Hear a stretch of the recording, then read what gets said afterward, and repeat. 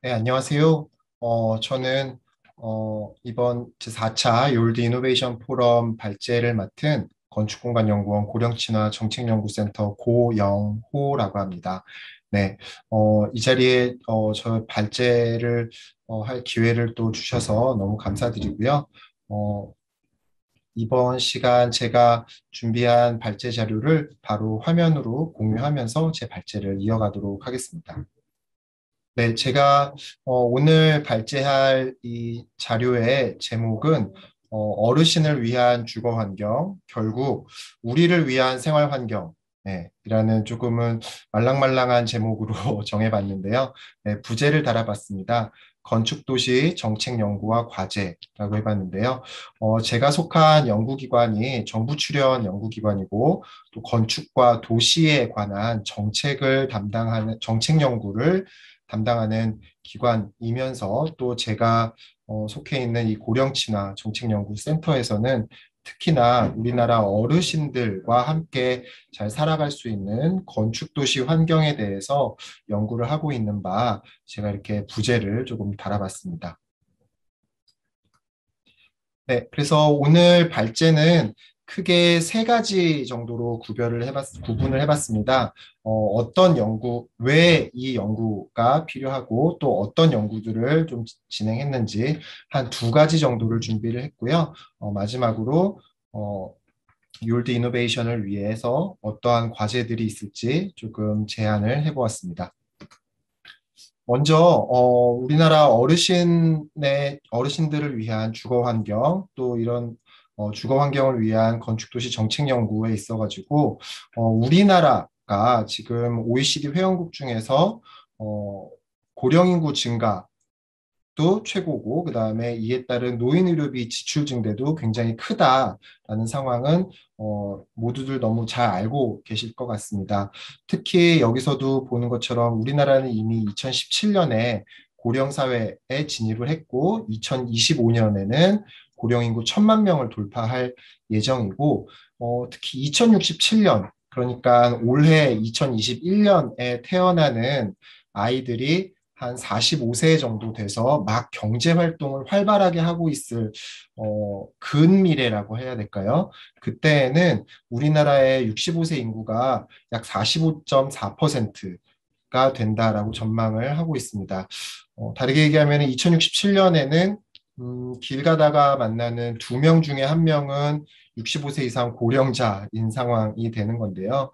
그만큼 우리나라 또 어르신들의 의료비 지출 증대도 굉장히 좀 부담이 되는 상황인지라 어, 이런 상황들을 조금 어, 해소하기 위해서는 어, 르신들의 신체 사회적 활동을 강화하는 생활 환경을 조성을 해서 좀 더 사전 예방 중심적인 대응으로 패러다임을 전환해야 하겠, 전환해야 하겠다라는 말입니다.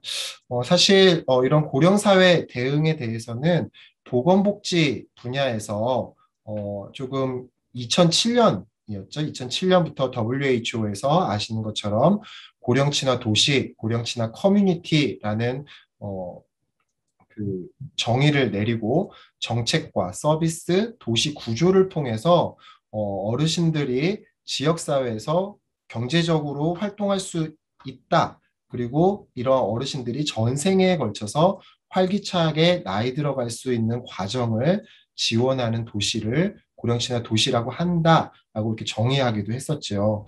근데 여기서 조금 짚고 넘어가야 할 것은 왜 WHO 세계 보건 기구 그러니까 보건에 대해서 세계적으로 협의를 하는 이 기구에서 왜 도시 이런 물리적인 환경 에 대한 정의를 하는가입니다. 사실 그도 그럴 것이 어, 지금 보시는 것처럼 고령 친화 도시를 위한 여덟 가지 영역을 제시하고 있는데 그 중에서 처음 세 가지가 어, outdoor space, transportation, housing 해서 물리적인 환경이에요. 그래서 그만큼 고령 사회 대응에 있어서는 사회 서비스적인 그다음에 복지 서비스, 의료 서비스적인 부분과 함께 물리적인 환경이 함께 갖추어져야만 어르신들과 함께 활기차게 생활할 수 있는 환경이 조성된다라고 할 수 있겠습니다. 그런 의미에서 어, 보건에 대해서 논의하는 세계 보건기구에서 고령 친화 도시라는 것을 어, 제창하고 정의한 바 있는 것이지요. 사실 우리나라에서도 저출산 고령 사회 기본법이 제정이 되고 또 이번 정부에서 포용적 복지국가 전략을 내세우면서 우리나라 고령자의 생활 환경에 대한 그 품질 수준을 개선하고자 하는 노력이 진행되고 있습니다. 또 이에 따라서 저출산 고령 사회 위원회도 많은 노력을 하고 있고요. 우리나라 지자체 역시 고령 친화 도시 조성에 관한 조례도 이처럼 많이 제정을 해놓은 상황입니다. 네, 국정과제는 뭐 포용적 복지국가 전략에 따라서 이런 국정과제들이 있다라고 해서 좀 담아본 것이고요. 어, 또 하나는 아까 말씀드린 것처럼 지자체에서 어떤 사업을 추진하기 위한 근거로서 조례를 마련하고 이에 대해서 재정 투자를 하고 있는데 보시는 것처럼 독립적 생활 보장 환경, 안전, 고령 친화 시설, 주거 편의 환경, 외부 공간 환경에 대해서 어, 국내에서도 서울시를 필두로 해서 많은 계획들이 세워지고 또 사업들이 추진되고 있습니다. 하지만 어, 이런 지자체의 급증한 고령사회 대응이 사업 예산 대비 혹시라도 국민 체감이나 실효성이 부족하진 않을까 하는 우려가 있는 것도 사실입니다. 어, 이런 우려에 사실 우리나라에서는 어르, 우리나라 고령자들을 위한 고령자들의 실태를 조사하기 위한 어, 어, 노인 실태 조사를 3년 주기로 실시를 하고 있지요. 예, 노인복지법에 따라서 2007년부터 시행을 하고 있습니다. 하지만 이 노인 실태 조사가 사실은 노인의 생활 현황과 욕구를 다각적으로 파악하기 위해서 그리고 정책 수립에 필요한 기초 자료를 제공하기 위해서 실시하고는 있지만 어, 사실 도시 환경 관련해서 그리고 건축 환경 관련해서 지역사회 생활 환경에 어떤 주요한 시설 그리고 장소에 대한 어르신들의 인식과 만족도에 대한 조사는 부분은 좀 부족하다라고 할 수 있겠습니다. 어, 그래서 어, 제가 몸담고 있는 건축공간연구원 고령친화 정책연구센터에서는 어, 어르신들의 건축공간 인식 만족도 조사를 올해에 시행을 하였습니다. 어, 주로 조사한 설문조사 항목에서는 어, 응답자의 뭐 일반 사항은 넘어가고요. 거주하시는 주택의 내부 공간에 대한 내용, 그 다음에 지역사회 시설을 어떻게 이용하고 계시는지, 낙상은 어떻게 되시는지, 그 다음에 지역사회 지속 거주와 관련된 인식과 만족도에 대해서 조사를 하였습니다. 어, 설문지는 총 어, 응답자 선정 질문 6개, 건축 공간에 대한 인식 만족도 관련 질문 한 200여 개 정도 를 했고 아, 조금 많았죠. 네, 그래서 총 24페이지 분량으로 구성을 했고 어, 제주도를 제외한 국내 16개 시도 지자체를 대상으로 올해 6월에서 7월 어, 대면 조사를 했습니다. 그리고 조사 표본은 전국 어르신 총 1,500명을 대상으로 했고요. 어, 제가 여기에 기, 기술하는 것을 깜빡했는데 어, 65세 이상 고령자만을 대상으로 했던 것은 아니고 55세에서 64세, 65세에서 74세, 75세에서 84세 이렇게 세 개의 그룹으로 어, 같이 포함해서 조사를 했습니다. 그랬던 이유는 어, 우리나라 고령자의 특성이 변화하고 있기 때문이었는데요. 어, 아시는 것처럼 어, 작년 2020년을 시작으로 앞으로 10년 동안 베이비붐 세대 한 800만 명 정도가 65세 이상 고령층에 진입을 하게 되는 상황인 거죠. 어, 이런 이유로 이번 건축공간 인식 만족도 조사에서 어, 대상 어르신의 55세 이상의 어, 어르신도 포함을 하였다라는 것을 어, 말씀드립니다. 그래서 어떤 결과가 나왔는가 제가 짧게 짧게 조금 말씀을 드려보자면은 일단 우리나라의 어, 젊은 고령자, 고령자도 좀 젊은 고령자 전기, 중기, 후기로 나눌 수 있을 텐데요. 어, 또 이번 이번 그 포럼이 욜드에 좀 더 집중하고 있는 바 젊은 고령자는 주로 아파트에 거주하더라라는 것을 확인을 할 수 있었습니다. 아파트에 거주하시는 어르신들은 그 55세에서 84세 사이 중에서 연령이 낮을수록 그다음에 해당 주택에 거주하시는 기간, 해당 거주 지역에 어, 거주하셨던 기간이 짧을수록 소득이 높을수록 아파트에 거주하시는 상대적인 경향이 높았고요. 일반 단독 일반 단독 주택에 거주하시는 어르신들은 연령 연령이 높을수록 그다음에 도시 지역보다는 도농 복합 지역에서 그다음에 거주 기간이 길수록 소득이 좀 낮을수록 단독주택에 거주하시는 경향이 높은 것을 확인했습니다. 또 주택 내부의 어떤 최저 주거 수준에 어, 못 미치는 것은 아닌지 어떤 어르신들의 그런 만족도는 어떤지 좀 확인을 해봤는데요. 전반적으로 양호했습니다. 다만 소음에 대해서는 불량하다는 응답이 좀 높았습니다. 어, 매우 만족, 만족, 불만, 매우 불만 이렇게 4점 리커트로 좀 측정 진단을 했었는데요. 이 4점 평균에서 주택 내부 소음은 3.03 포인트 정도, 주택 외부 소음은 3.09 포인트 정도로 어, 보시는 것처럼 다른 항목 대비 이 빨간색 불량하다고 응답하신 부분이 좀 높았다라는 것을 확인하였습니다. 또한 주택 내부에서 어떠한 그 불편을 야기하는 공간이 있겠는가라고 어, 현관, 부엌, 주방, 화장실, 침실, 거실, 계단, 그다음에 집 전체에서 조금 더 세세하게 어떠한 특정 액션을 행동을 취하실 때 어, 불편하신지를 확인을 했을 때 어, 화장실에서 바닥이 미끄러워서 그 다음에 주방에서 어, 높이가 좀 높아서 식기를 수납 식기를 수납하실 때 불편하시다. 그 다음에 어, 계단에서 계단은 전체적으로 전부 다 어, 계단의 손잡이나 계단을 이용하시는 상황이 좀 많이 불편하다라는 말씀을 주셨고요. 그다음에 어, 화장실에서 욕조의 높이가 높아서 들어가기 불편하다, 힘들다. 그다음에 침실에서는 장롱 등에 이불 등을 넣거나 뺄 때, 그러니까 침구를 정리하실 때 좀 불편하다라는 응답이 좀 두드러졌습니다. 그다음에 주택 내부에 어떤 어르신들을 위한 편의 설비를 우리가 설치를 하지 않습니까? 이럴 때 이 편의 설비 설치 여부, 실제 설치를 하셨는지, 그다음에 설치 여부와 상관없이 또 이게 설치가 필요하다고 생각하시는지 요거를 어, 서로 따로 구별해 가지고 좀 여쭤봤어요. 여쭤봐서 그 결과를 비교해 봤더니 어, 내부 공간의 단차를 제거하는 거, 그 다음에 문을 여닫을 때 손잡이가 편한 거, 요런 것들, 요런 것들은 어, 설치 수준도 이미 많이 좀 설치를 하셨고 필요성도 굉장히 높다라고 같이 공감을 하고 계셨습니다. 반면에 미끄러움을 방지할 수 있는 바닥재나 현관에 보조 의자나 손잡이를 설치해서 구부리거나 신발을 벗고 신으실 때 어떤 낙상을 방지한다든지 이런 불편함을 해소하는 거. 그다음에 응급 상황에 주택 내부에 응급 비상벨이 설치되는 이런 설비들은 실제 설치 수준은 굉장히 낮았는데 설치 필요에 대해서는 굉장히 높다라고 응답을 해주셨습니다. 이러한 고령자 편의 설비가 설치되지 않았던 이유에 대해서는 생활에 큰 불편이 없어서라고 대부분 응답을 해주셨고요.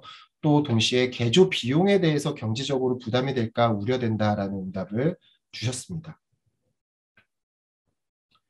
코로나 시기에 우리가 어르신의 건축 공간 인식 만족도에 대해서 조사한 만큼 코로나19 전과 후를 조금 비교해 달라고 어, 여쭤봤는데요.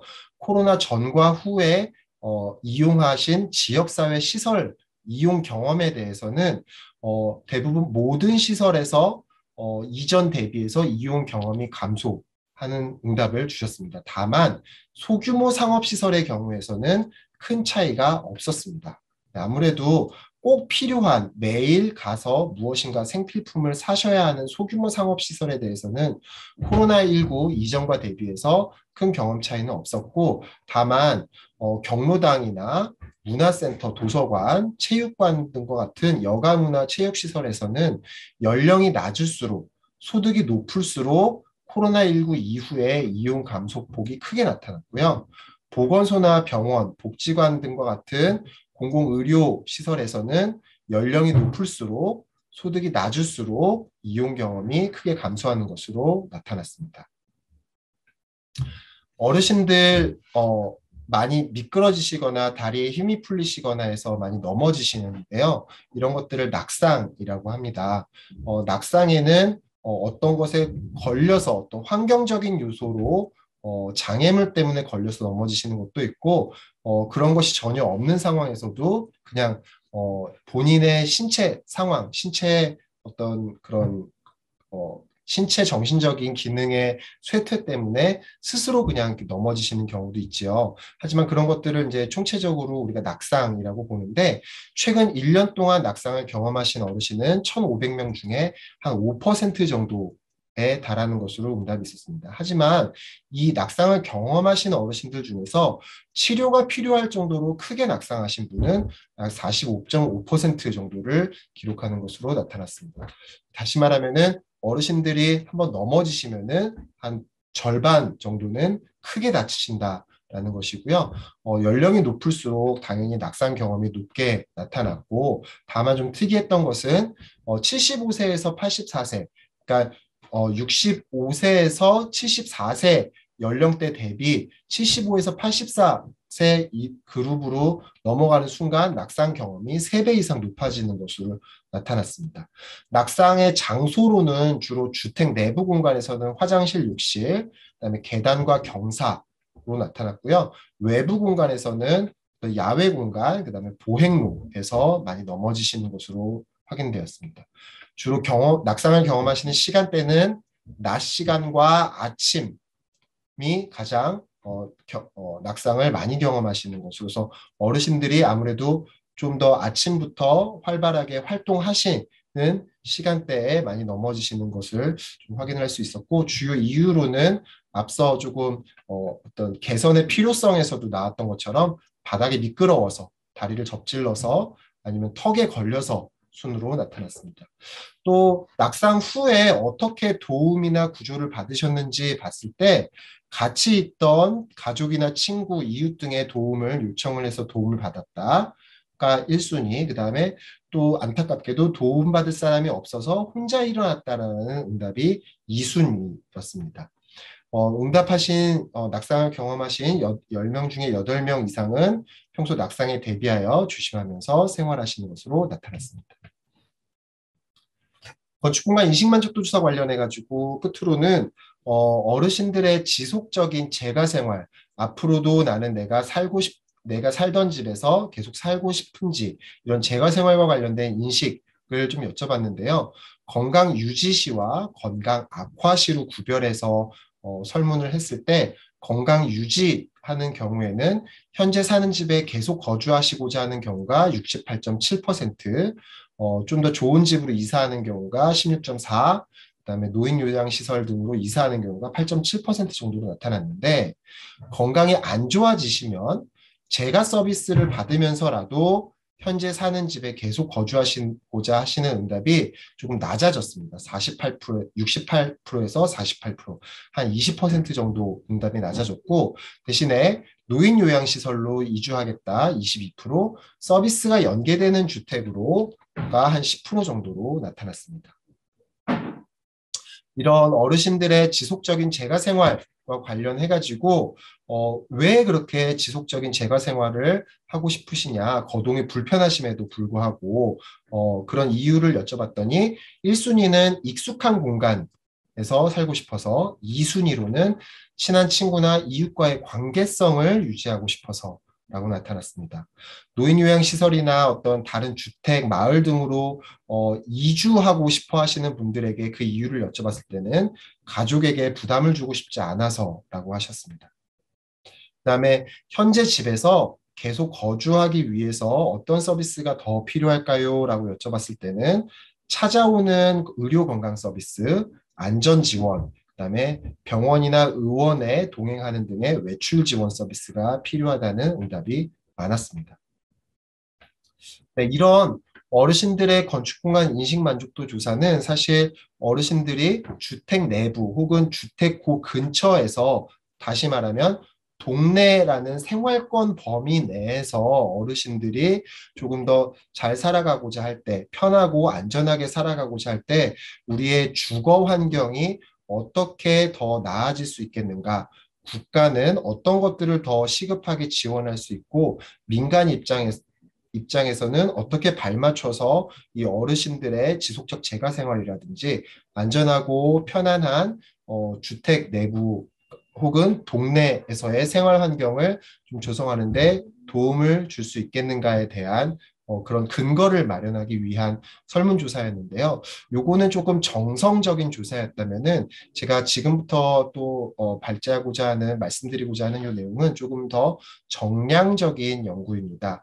어, 이런 아까 동네에 대해서 제가 잠깐 말씀드렸는데 도대체 그러면 우리나라 어르신들은 이, 이 동네라는 것에 대해서 어떻게 인식하고 계실까? 이 동네라는 것을 어느 정도 규모로 어느 정도 수준으로 동네 생활권을 형성하고 계실까에 대해서 조금 조사를 어, 연구를 해봤습니다. 조사 어, 조사는 GPS를 통해서 어르신들에게 GPS를 나눠드리고 어르신들의 매일매일 생활을 GPS로 추적해서 어르신들의 일상 생활권을 기록한 것이었는데요.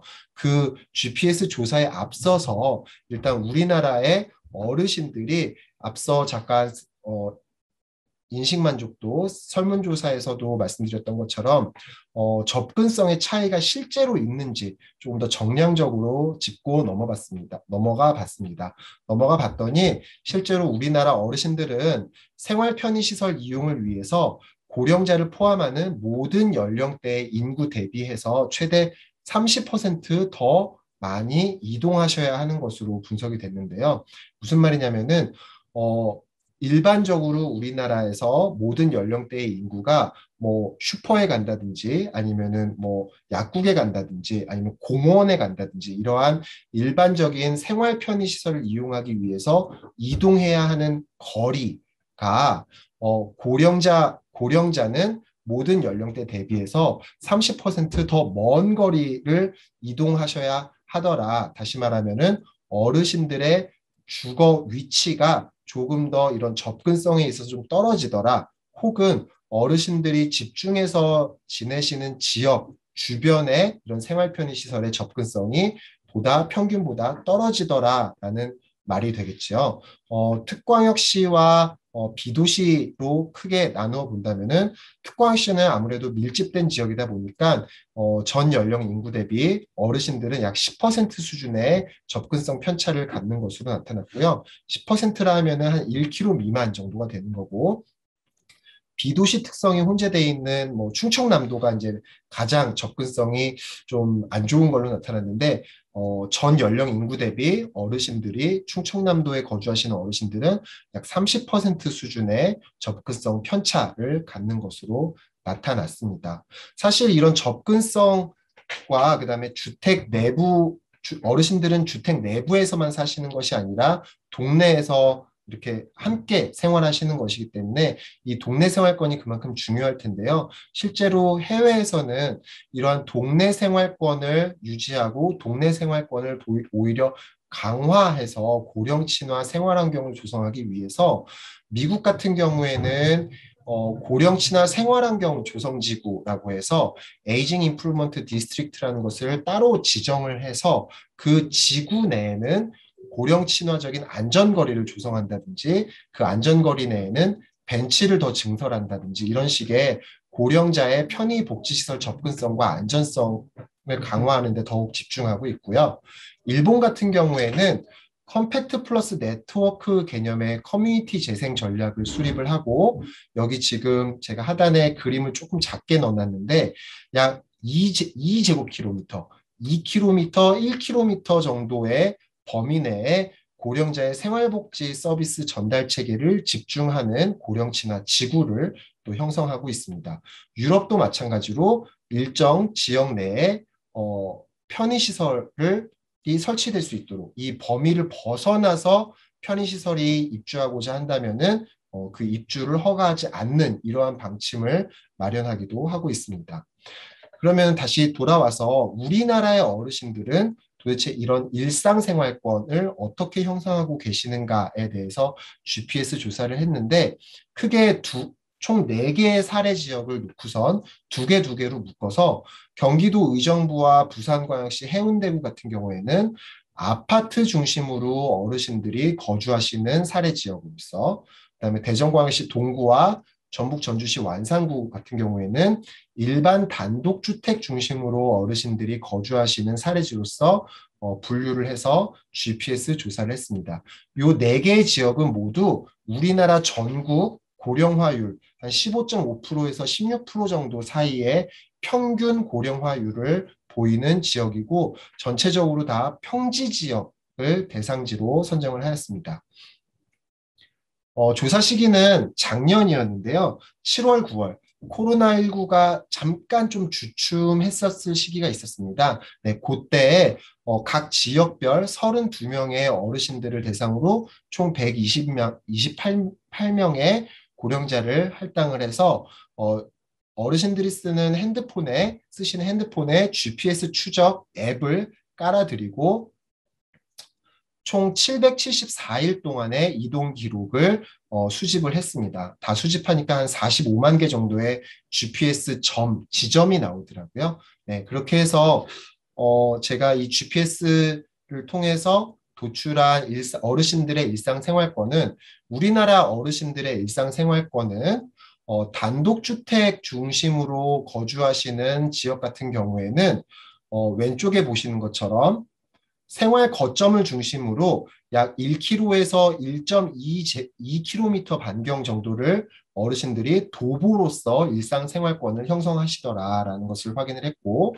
아파트 중심으로 거주하시는 사례 지역 같은 경우에는 생활 거점으로부터 약 0.5에서 0.8 그러니까 한 550m에서 850m 정도의 반경으로 일상 도보 생활권을 어, 형성하시더라라는 것을 확인을 했습니다. 근데 좀 더 재밌었던 것은 이렇게 단독주택 중심 지역과 아파트 중심 지역이 어, 생활 거점 중심으로 이 일상생활권의 어, 반경 크기가 차이가 있었음에도 이 빨간색으로 처리된 일상생활권 이 내부에서 주로 이용하셨던 시설들의 빈도는 사실 큰 차이가 없더라라는 것을 또 확인을 했습니다. 그 제가 그 안에서 확인했던 시설의 종류와 빈도가 유사하다고 말씀드렸었는데요. 어, 크게 봤을 때 노인복지시설 많이 이용하셨고요. 또 특이하게 미용실과 이발소를 많이 이용하시더라라는 것을 확인을 했습니다. 또 보건시설 중에서는 어, 병원을 많이 이용하시지 않을까 싶었는데 약국 많이 이용하시는 거 확인했고요. 어르신들 외식 많이 하시더라라는 것도 확인을 했습니다. 다만 어, 코로나이고 이게 또 일상적인 어, 일반 거주 지역이기 때문에 어떤 문화예술 시설이나 이런 것들이 많이 들어가 있는 지역은 아니었습니다. 숙박 시설이나 역사 시설도 많이 위치해 있지는 않았지요. 그래서 이런 곳에 이런 곳에 체류하는 곳은 좀 미비하다라고 결론이 나왔습니다. 네, 그래서 지금까지 제가 어, 저는 저희 고령친화 정책연구센터에서 작년과 올해에 수행하였던 여러 가지 연구 중에서 우리 욜드를 위한 고령친화 생활환경, 그다음에 고령친화 주거환경 에 있어서 조금 시사점을 도출할 수 있을 만한 연구 두 가지를 골라서 조금 요약 발표드렸는데요. 어, 이런 것들을 통해서 앞으로 어, 욜드 이노베이션을 위한 향후 과제를 조금 제안하고 발제를 마칠까 합니다. 먼저 앞서 말씀드렸던 우리나라 어르신들의 건축 공간에 대한 인식 만족도 조사를 통해서는 어, 아파트 생활을 중심으로 하는 우리나라 신중년 고령자의 주택 내부의 안전과 편의 설비 설치 그리고 이러한 어, 안전과 편의 설비가 생활권으로 확장될 필요가 있겠다라는 과제를 조금 도출할 수 있었습니다. 어, 말씀드렸던 것처럼 아파트 생활 중심으로 신중년들은 생활을 하고 계시는데 특히 다른 것 불편함보다도 주택 내외부의 소음에 많이 불편함을 경험하고 계셨고 공간으로 나누어 보자면은 화장실, 주방, 계단에서 일상생활의 안전성과 편의성이 좀 강화될 필요가 있겠다. 그리고 주택 내 단차 제거, 미끄러운 방지, 그 다음에 현관의 보조 의자와 손잡이, 응급 비상벨 설치 같은 경우에는 사실 어, 느 정도 설치가 되어 있는 경우도 있고 설치가 많이 안 되어 있는 경우가 사실은 대다수였지만 그럼에도 불구하고 설치 필요에 대해서 굉장히 높은 응답을 어, 주고 계셨기 때문에 이런 것에 대해서는 국가에서의 지원도 필요하고 민간에서도 조금 산업적으로 더 활성화해서 어르신들에게 경험하실 수 있고 이런 주택 고령자 편의 주택 설비의 안전성과 편의성 증진 효과에 대해서 실제로 경험하시고 체험하시고 이런 걸 인지하실 수 있는 어, 기회를 좀 많이 마련할 필요가 있겠다라는 과제를 조금 어, 제안해 볼 수 있겠습니다. 또한 특히 소규모 상업시설 같은 경우에는 생활권 내에서 코로나19 전후로 이용 경험의 차이가 적, 어, 적기 때문에 이런 생활 편의시설, 고령자들을 위한 안전 편의시설이 생활권 어, 주택 밖으로까지 확장된다고 할 때 소규모 상업시설에 가장 먼저 좀 설치가 확장될 필요가 있겠다라는 것이 있겠고요. 낙상이 낙상을 주로 경험하시는 장소와 시간대를 좀 타겟팅해서 뭐 AI 설비라든지 어, 어떤 어르신들의 안부 확인하는 그런 안전 지원 설비나 장치, 기구가 고려될 필요가 있겠다라는 과제를 좀 제안해 봅니다. 또 우리나라 어르신들 지속적 재가 생활을 굉장히 희망하시는데요. 어, 이런 상황 속에서 어, 우리나라 신중년 어르신들을 위한 어, 르신들은 결국에 익숙한 공간과 기존의 관계성을 유지하고자 지속적 제거 생활을 희망하시는 바 국가에서 조금 어, 서비스 주택이라든지 어떤 시설로의 이주 등을 조금 더 이렇게 어, 유도하는 상황에서 이 있다면은 어, 이러한 익숙한 공간과 관계성을 유지할 수 유지를 지원할 수 있는 장치와 프로그램 마련이 필요하겠다 싶습니다. 또, 또 하나는, 어, new normal 코로나, 지금 뭐, with 코로나로 이제 넘어가게 될 텐데요. new normal 시대에, 어, 고령 친화, 앞서서는 고령 친화 생활 환경 조성이 필요하고, 이번에는 고령 친화 거주 환경 조성이 필요하겠다. 그래서, 어, 우리나라 어르신들, 지역 사회 지속 거주 의향이 높다라는 거는 aging in place와 aging in community를 실현할 가능성이 높다. 다만 어, 고령자의 생활 편의 시설 접근성은 미흡하고 이러한 고령자의 생활 편의 시설 접근성을 강화하기 위해서는 어, 단독주택과 아파트 중심 지역으로 이 일상생활 거점 중심의 반경 차이를 확인을 해서 조금 어떤 시설이나 편의, 설비에 집중이 필요하겠다라는 어, 제안을 드립니다. 특히 아파트 중심 고령자가 많이 계시는 지역 같은 경우에는 생활 거점 중심으로 이 일상 도보 생활권이 굉장히 작기 때문에 아까 550에서 850m 반경 정도가 나왔었는데요. 그 도보 생활권 내에는 1차적으로 꼭 필요한 서비스 전달 체계를 구축하고 대중교통 생활을 대중교통을 이용해서 연계하는 2, 3차 서비스 전달 체계를 조금 구축할 필요가 있겠다 싶고 단독주택 중심의 고령자가 많이 거주하시는 지역 같은 경우에는 시범지구를 좀 조성해서 서비스 접근성을 강화할 필요가 있겠다라는 과제를 좀 제안해 봅니다. 네, 이상으로 제가 준비한 발제를 마치도록 하겠습니다. 네, 뒤이어서 발제해 주시는 어, 더 클래식 500의 발제 내용도 기대가 되고요. 또 토론에서 만나서 또 말씀 나누도록 하겠습니다. 감사합니다.